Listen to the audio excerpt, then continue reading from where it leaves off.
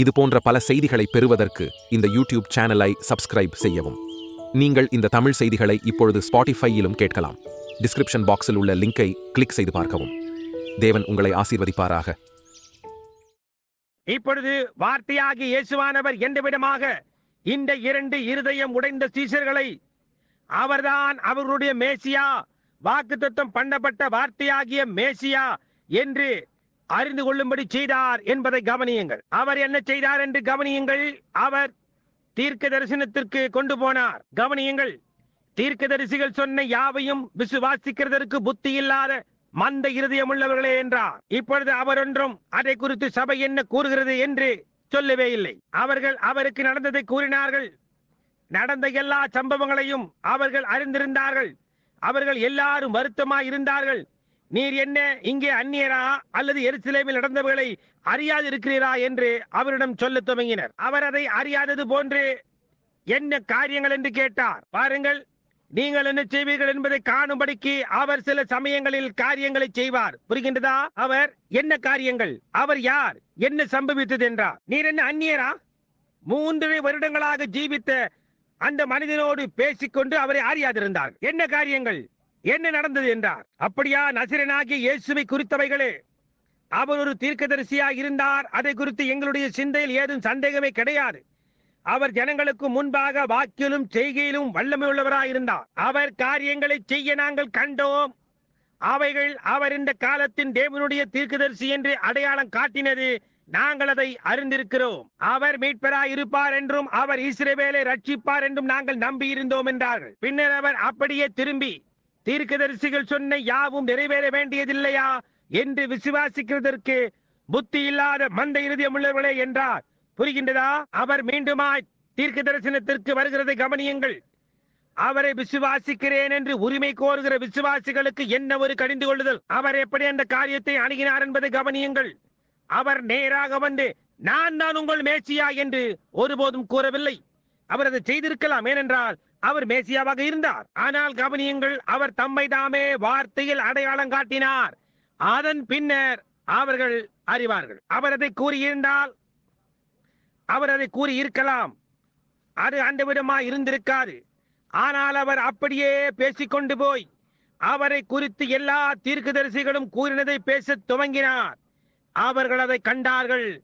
அப்பொழுது அவர்கள் தேவனுடைய பிள்ளைகளா இருந்தால் அவர்களுக்குள்ளாக அவர்கள் அதை கூறுவார்கள். ஆனால் தீர்க்கதரிசிகள் முன்னிறுத்தவர்களுக்கு அவர்களுடைய கவனத்தை இழுத்து ஆரைதான் அவர்கள் மேசியா வரும் காலத்தில் எதிர்நோக்கி இருக்க வேண்டும் என்றும் அவருடைய காலம் வெளிப்படும்படி செய்யப்படும் என்று கூறினார். அவர் யோபானை போன்று வார்த்தையும் வேடாகமும் அவர்களுடைய செய்தியை அடையாளம் காட்டும்படியாய்விட்டார். எந்த உண்மையான தீர்க்கதரிசியும் அதை செய்வான். நான் தான் அவர் என்று வெளியே வந்து கூறவில்லை.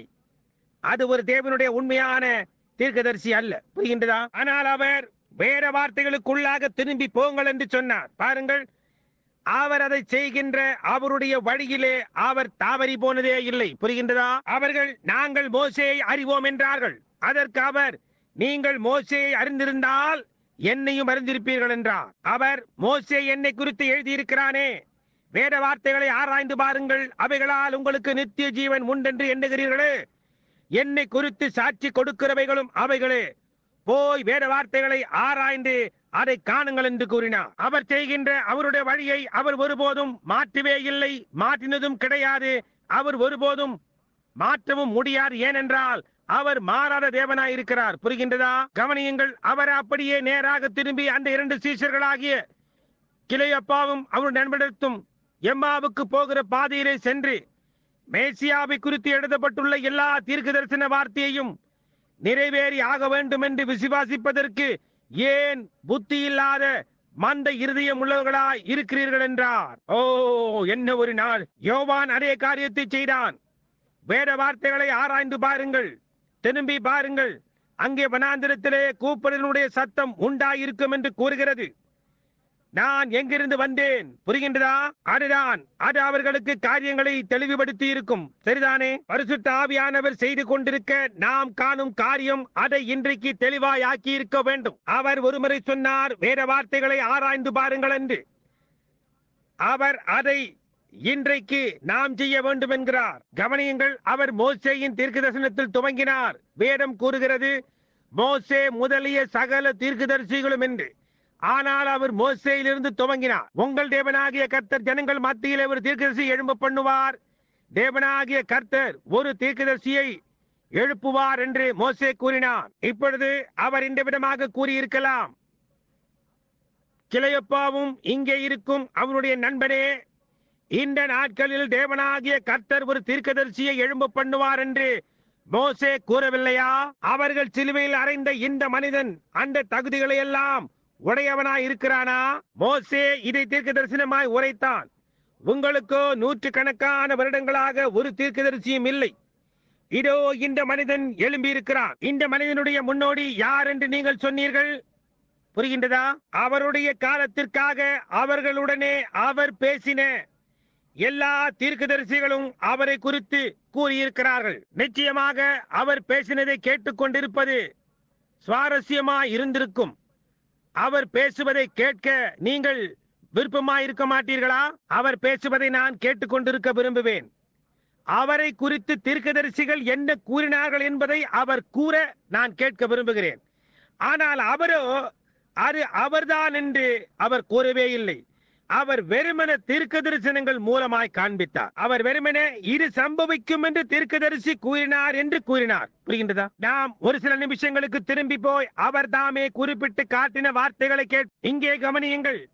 வார்த்தை தானே அவரை பற்றின வார்த்தையை இங்கே குறிப்பிட்டு காட்டுகிறது. வார்த்தை தானே அவரை பற்றின வார்த்தையை இங்கே குறிப்பிட்டு காட்டுகிறது. அவர்தான் அது என்று அவர் அவரிடத்தில் கூறவில்லை. ஆனால் வார்த்தை தனக்குத்தானே பேசும்படியாய் விட்டார். அப்பொழுது அவர் யார் என்று அவர்கள் அறிந்து கொள்வார்கள். வார்த்தையின் அச்சரம் வார்த்தையை குறிப்பிடுகிறது. மாம்சத்தில் உள்ள வார்த்தையானது வார்த்தையின் அச்சரத்தை குறிப்பிட்டு அவரோடு முழுவதுமாக அடையாளம் காட்டப்படுகிறது. இங்கே பாருங்கள் அவர் குறிப்பிட்டு கூற நாம் செவி கொடுப்போம். கடைசியாக சம்பவித்தவைகளை அதாவது சிலுவையில் அறையப்பட்டது உயிர்த்தெழுந்த சங்கதி கல்லறை நாம் வாசிப்பது போன்று அவர்களுக்கு சொல்லப்பட்டிருந்தது என்பது இப்பொழுது நமக்கு தெரியும். இப்பொழுது அவர் நேரடியாக அவரை குறித்ததான தீர்க்க தரிசன வார்த்தைகளுக்கு அவர் போகிறார். அவர் இதை கூறினார் என்பதை நாம் நினைத்துக் கொள்வோம். இதை காட்டிலும் இன்னும் அதிகமானவர்களை அவர் கூறினார். ஆனால் கவனியுங்கள் அவர் சகரியா பதினொன்று பனிரெண்டுக்கு திருப்புங்கள் என்றார். தீர்க்கதரிசியின்படியாக மேசியா முப்பது வெள்ளி காசுகளுக்கு விற்கப்பட வேண்டியதில்லையா? நீங்கள் எப்போதுதான் சொன்னீர்கள் இந்த மனிதன் முப்பது வெள்ளி காசுகளுக்கு விற்கப்பட்டான் என்று? அவர் சொல்ல கேட்டார்கள் திருப்புங்கள். அந்த வேற வார்த்தைகளையா தேடுகிறீர்கள்? சகரியா பதினொன்று பனிரெண்டு. பின்னர் அவர் சங்கீதத்தில் தாவீது என்ன கூறியிருக்கிறார் என்பதை நீங்கள் கவனித்தீர்களா? சங்கீதம் நாற்பத்தி ஒன்று ஒன்பது.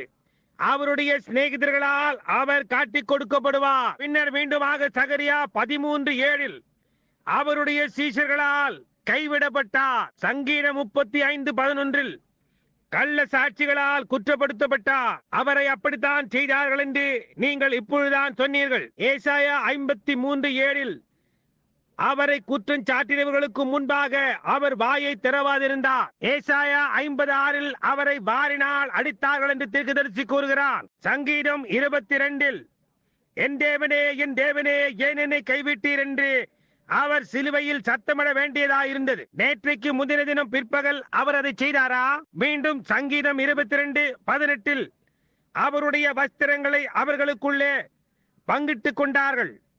அவர்கள் அதை செய்தார்களா? சங்கீதம் இருபத்தி ரெண்டு ஏழு எட்டில் அவருடைய எதிரிகளால் சபையால் அவர் கேலி செய்யப்பட்டார். மீண்டும் சங்கீதம் இருபத்தி ரெண்டில் அவருடைய சரீரத்தில் ஒரு எலும்பு கூட முறிக்கப்படுவதில்லை.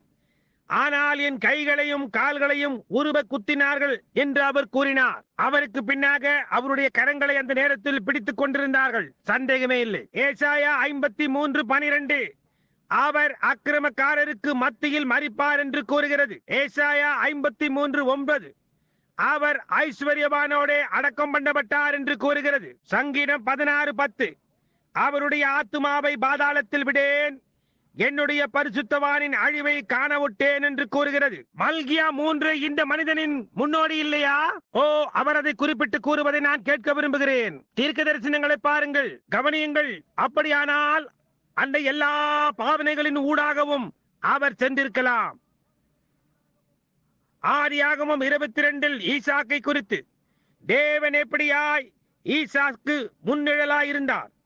எப்படியாய் பிதாவாகிய ஆபிரகாம் தன்னுடைய சொந்த குமாரனை அழைத்துக் கொண்டு போய் விறகுகளை சுமந்து கொண்டு மலையின் மேல் ஏறி போய் அவனுடைய சொந்த குமாரனையே பலியாக கொடுத்தார். இப்பொழுதுதான் அது அவர்களுக்குள்ளாக ஊற துவங்கியது. அவர் அவர்களிடத்தில் அந்த நாளின் தீர்க்க தரிசனத்தை நோக்கி பார்க்காததினால் புத்தி இல்லாதவளா இருந்தார்கள் என்று கூறினார். இப்பொழுது அது அவர்களுக்குள்ளாக ஊற துவங்கியது.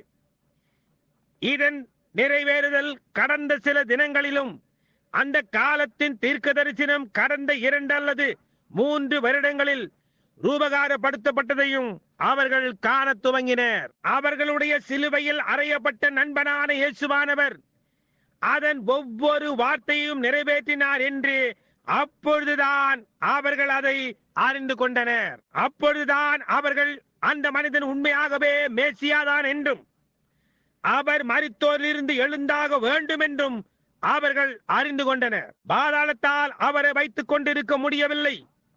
உம்முடைய பரிசுத்தவானின் அழிவை காணவூட்டீர். தீர்க்க தரிசனத்தின் ஒரு வார்த்தை கூட தவறி போக முடியாது. அவர் அப்படியே உயிரோடு எழுந்தார். அப்படியானால் இன்று காலையில் கல்லறில் அண்டையில் இருந்த அந்த ரெண்டு தூதர்களும் சரியானதுதான். அவர் மருத்துவரிலிருந்து எழுந்து விட்டார். அவர் உயிரோடு இருக்கிறார். அவர் தான் அந்த மேசியா. ஏன் அதை தவறவிடாதீர்கள்? அவருடைய செயல்கள் அவருடைய ஊழியம் அவர் செய்த எல்லா காரியங்களும் இந்த நாளில் சம்பவிக்கும் என்று தீர்க்கதரிசிகள் கூறின வார்த்தைகளை சரியாக அப்படியே ரூபகாரப்படுத்தினர். அது அதை முடித்தது. அப்பொழுது அவர்கள் அது அவர்தான். அவர்களுடைய சிலுவையில் அறையப்பட்ட நண்பனாகிய இயேசுவானவர் தான் அதை செய்தார் என்று அவர்கள் அறிந்து கொண்டனர். அவர் அவர்களோடு பேசிக் கொண்டிருந்த போது அவருடைய இருதயம் கொழுந்து விட்டு எரிந்தது என்பதில் வியப்பேதுமில்லை.